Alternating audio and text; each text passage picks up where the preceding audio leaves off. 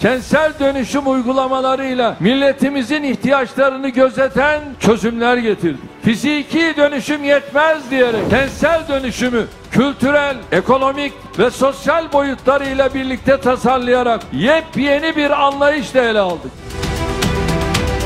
Şehre şükranla değer katmaya devam ediyoruz.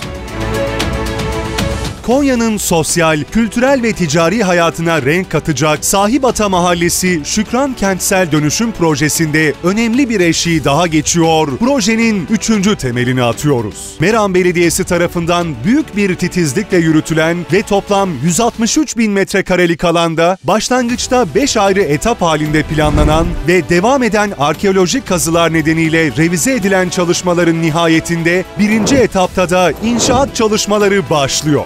Benim şehrim Konya'ya ve bizim Meram'a hayırlı olsun.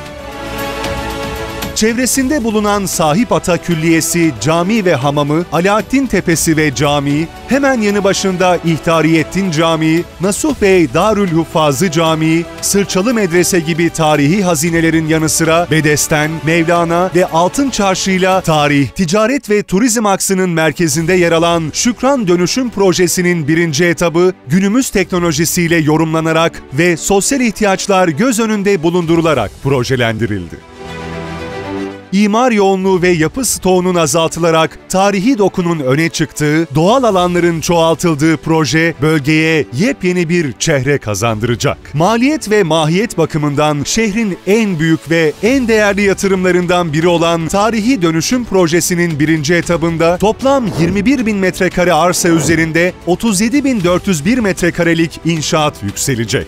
Dış cepheleri tarihi ve coğrafi dokuyla yöresel mimariye uygun şekilde tasarlanan projede 3 ayrı adada 7 blok ve 307 bağımsız bölüm bulunuyor. 158 adet dükkan ve 149 adet ofis yapılacak olan proje alanında toplam 1124 metrekarelik yeşil alansa Merama ve Konya'ya hizmet verecek.